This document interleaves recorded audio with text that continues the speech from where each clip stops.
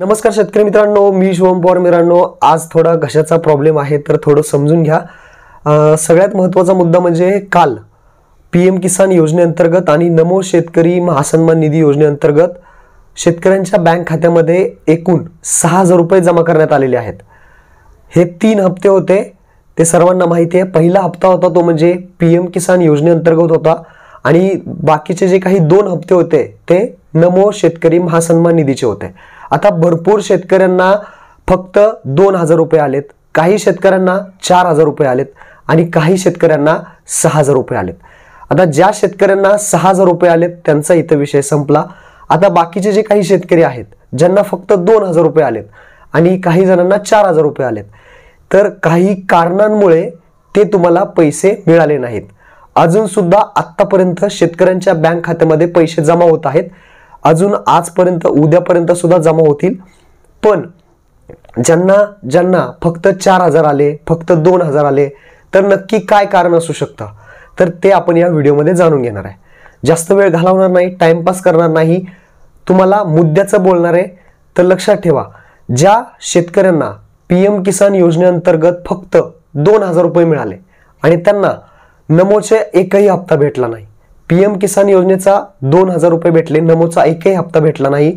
तर लक्षात ठेवा तुम्ही नवीन आहात. नवीन म्हणजे तुम्ही पी एम किसान रजिस्ट्रेशन जे आहे ते आत्ताच एक दोन वर्षापूर्वी केलं असेल त्यामुळे तुम्हाला नमोचा हप्ता एकही भेटला नाही. कारण नमोमध्ये जर पात्र व्हायचं असेल तर नमोची जी काही प्रक्रिया आहे ती महाआयटीद्वारे केली जाते.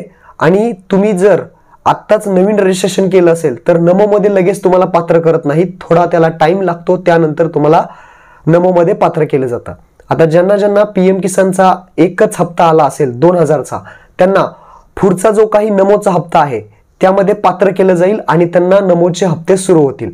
त्यामुळे नवीन नोंदणी करायची गरज नाही.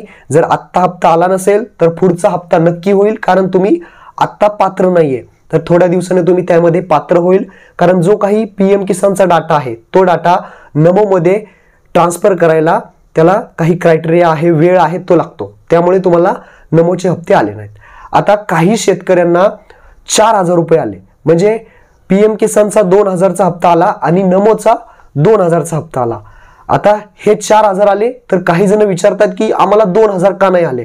तर तोच प्रॉब्लेम आहे की अगोदर तुम्ही नमो मध्ये पात्र नव्हता. का? कारण त्यामध्ये आपली काही चूक असेल किंवा सरकारची काही चूक असेल. आता आपली काही चूक काय असू शकते?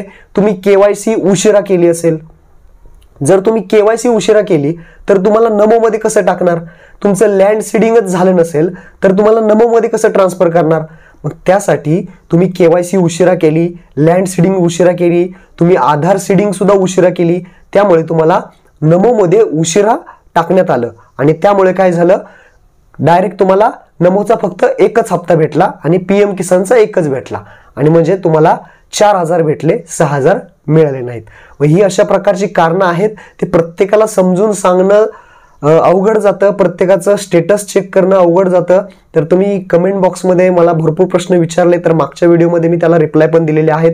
अजून जर काही प्रॉब्लेम असतील तर कमेंट बॉक्समध्ये तुम्ही मला विचारा. विचारू शकता. ह्यामध्ये तुम्हाला सगळं समजलं असेल की आपल्या काही चुकांमुळे आपण नमोमध्ये पात्र नाही झालो. त्यामुळे आपल्याला नमोचा एक हप्ता आला.